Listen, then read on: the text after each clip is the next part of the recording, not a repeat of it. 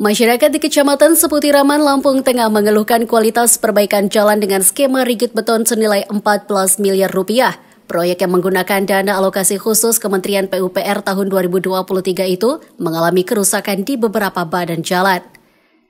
Jalan Kabupaten Penghubung Kecamatan Seputiraman menuju Seputi Mataram itu baru selesai dibangun beberapa bulan lalu.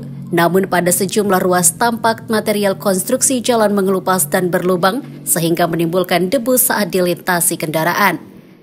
Dari informasi yang dihimpun, proyek rigid beton ini dikerjakan oleh kerabat bupati. Jalan yang memiliki panjang sekitar 3 km menghubungkan Kecamatan Seputi Raman dan Seputi Mataram itu mulai dikerjakan pada tahun 2023 lalu. Kemudian selesai pada bulan Februari 2024. Namun kondisi jalan sepanjang 500 meter sudah mengelupas dan berlubang sehingga menimbulkan debu yang mengganggu pengendara dan warga sekitar.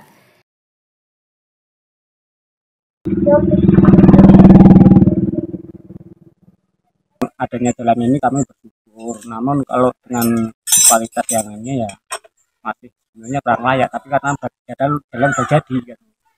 Kalau gelubangnya wajar, hmm. wajar ya. cuman mungkin kualitas aduannya mungkin. Apa konstruksi pasirnya atau gimana nya gitu. Sudah ada yang terkelupas mungkin pak ya? Mendekati terkelupas yang 500 meter. Pelaksanaan itu mulai 2023 di bulan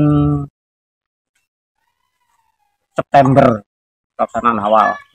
Sampai finish itu ada perpanjangan perpanjangan perpanjangan sampai di Februari 2024 itu melihat plang yang di terterakan awalnya itu 14 miliar panjang tadinya kan hot meat program pertama itu hot meat tapi karena kampung kami terlintasi mobil pasir sehingga terjadi cocoran sepanjang 3 kilo kurang 150 meter dengan lebar 6 meter. Untuk informasi yang mengerjakan katanya orang terdekat bupati ya Pak, benar nggak Pak? Yang kami terima infonya itu iya. Siapanya bupati Pak? Keponakan atau apanya gitu ya.